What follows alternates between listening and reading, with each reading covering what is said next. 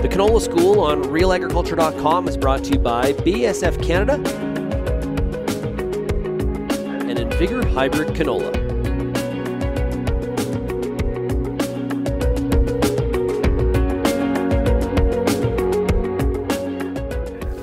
Hey, Kara Oosterhuis here with RealAgriculture.com. It is time now for another Canola School episode. I recently had the opportunity to catch up with Jack Payne, who's a grow team advisor with FCL. Jack and I talk about some of the abiotic and biotic stressors you could be seeing on your canola seedlings in the next upcoming period and what some of the management techniques are. Check out the conversation now. Well, I guess what we look at, Karen, I guess first of all, when we talk about abiotic, we're talking about things that are environmental. so part of that, first one comes to mind is moisture. And, uh, you know, I, last year I saw in Alberta anyway, quite a range. You know, we had areas that were very dry in May. We had other areas in north and central Alberta that were flooded out. And what I saw was really um, where moisture, soil moisture, and seeding depth come into play. So for example, I mean, that, that's always a good argument. If you want to get an argument between agronomists, what's the, best, what's the best seeding depth for canola? Is it half an inch? Is it three quarters of an inch? An inch? You'll get, you'll get varied opinions. Well, what I saw last year with, with canola in southern Alberta was it was very dry in May. It was extremely dry. And what I saw in some fields were uh, places where the grower had uneven seeding depth. And at a half an inch, some of that canola was stranded in dry soil, wasn't germinating. Other areas where the where he'd seeded a little deeper got down to an inch. Some of that canola hit moisture and started to germinate. So what we saw was uneven emergence. We had rear very thin stand, and when you got out and started digging around, what you found was the shallow canola was stranded, wasn't germinated. The other stuff that was a little bit deeper germinated and we had a thin stand of plants. Now what happened was the flea beetle pressure. Now we, now we start putting in a biotic stressor, which is biological, and because there were, let's say only 50% emergence of your stand, those flea beetles came out and they just absolutely hammered those first few plants that came out of the ground.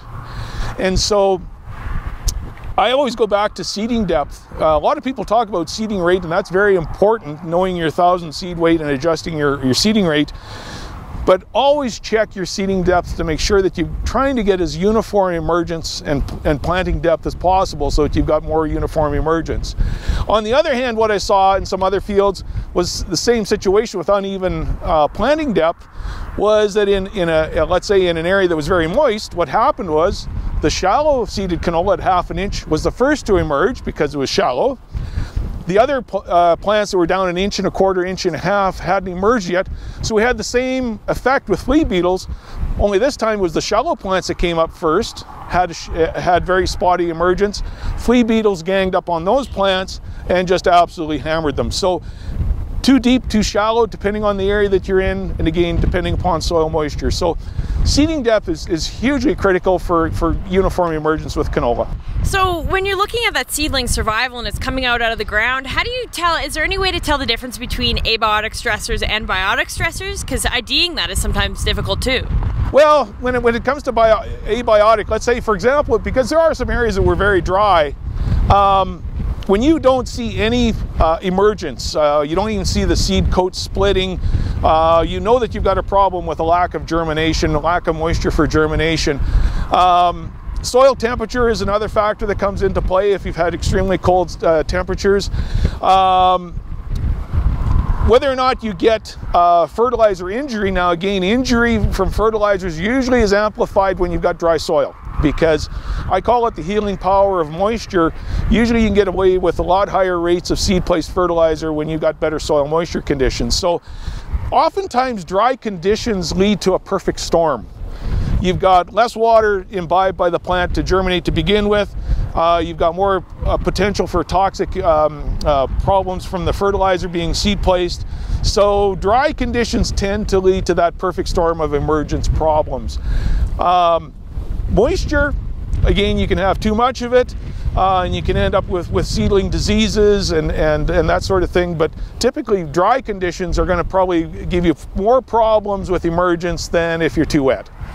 And now, if you're looking at things like, you know, we're, we're, we're standing in the in a field full of wind right now, yeah. uh, wind shear. Is there anything that can be done if your if your little plants are coming up and? Well, I, I guess, Carrie, it goes back to the, the days when we talked about direct seeding.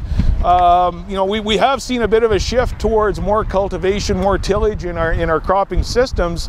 And when you kind of look, you know, behind me, there's very little cover at the soil surface. Uh, I remember back in the days when I worked with Alberta Agriculture, we were doing so much work with direct seeding, and we were actually taking wind measurements on a day like today, but you could actually see the microclimate effect when you had that standing stubble that those seedlings, the wind um, was, was much reduced at the ground level because the stubble was actually acting as a shelter belt.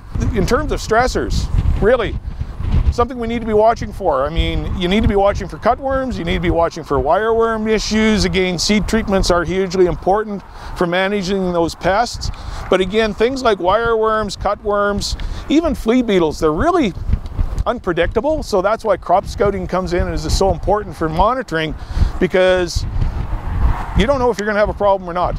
It, you know, you have to get boots on the ground to, to know whether or not you're going to have a problem with those insect outbreaks. And I think in every single one of these canola school episodes, we talk about getting your feet on the ground, and I just do not think we can drive it home enough the importance of scouting. No, I mean, it, scouting is hugely important.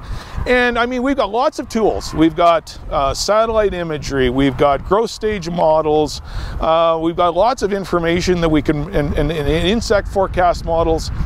But those are decision support tools. They help us make a decision. They, they give us some early warning of, of potential problems. But again, you need to verify it at the ground level. And again, good old fashioned boots on the ground, there's no substitute for them. Absolutely. Okay, thank you very much. Cool.